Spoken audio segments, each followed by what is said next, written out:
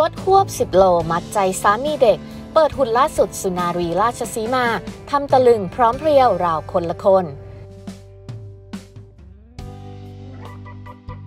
หลายคนคงรู้จักกันเป็นอย่างดีสำหรับสุนารีราชสีมา เจ้าของเพลงยอดฮิตนิยมชื่อดังหลายเพลง อย่างกราบเท้าย่าโม และสุดท้ายที่กรุงเทพ ซึ่งปัจจุบันค่ะทางด้านสุนารีได้ผันตัวเองมาทำหน้าที่เป็น commentator ในรายการเพลง และต้องบอกเลยว่าสุนารีไปออกรายการไหน เรียกเสียงฮาได้อย่างแน่นอนและเป็นที่ทราบกันดีค่ะ ปัจจุบันสุนารีนั้นกำลังคบหาดูใจกับวอลเตอร์ สามีฝรั่งตาน้ำข้าว สุนารีได้คบหาดูใจกันมานานยาวถึง 8 ปีค่ะ พร้อมกับจดทะเบียนสมรสกันเป็นที่เรียบร้อย และไม่ว่าจะผ่านมากี่ปีนะคะ สุนารีก็ยังสวยเป๊ะ แถมสวยมากขึ้นอีกด้วย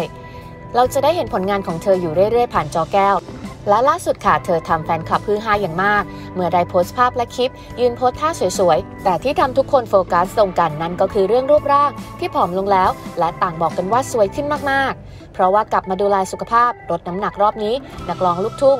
สุนารีวัย 55 กลับมาสวยแซ่บขึ้นเยอะเลยค่ะ แถมยังสวยวันสวยคืน ตัวเล็กลงเรื่อยๆ เรียกได้ว่าใครเห็นเป็นต้องทัก โดยล่าสุดสุนารีเพิ่งจะโพสภาพใส่ชุดดำกระโปรงสั้นรองเท้าบูทปล่อยผมยาวสวย และยืนโพสท่าหันด้านข้าง ลุคนี้บอกเลยว่าปังทั้งเสื้อผ้าหน้าผม ดูสวยดูหน้าเด็กลงด้วย และที่สุดของที่สุดค่ะ ก็คงต้องยกให้หุ่นสุดปัง เพราะว่าเธอนั้นผอมลงเยอะมาก แขนดูยาว เอวเป็นเอว สะโพกเข้ารูปสวยงามค่ะ งานนี้เจ้าตัวได้โพสต์แคปชั่นไว้ด้วยว่า ช่วงนี้รื้อชุดเก่ามาใส่เพื่อควบคุมตัวเอง รเห็นสุนารีโพสต์นี้เป็นต้องคอมเมนต์ชมความสวย เช่น สวยมากค่ะป้าดแม่สวยมากสวยสุดๆไปเลยค่ะ สวยขึ้นเยอะเลยค่ะ กราบ สวยหุ่นดีมากค่ะ เลิศมากค่ะแม่เป็นต้น ต้องบอกว่าลุคใหม่ของสุนารีนั้นสวยขึ้นมากๆ แล้วก็ซับขึ้นมากๆเลยทีเดียวค่ะ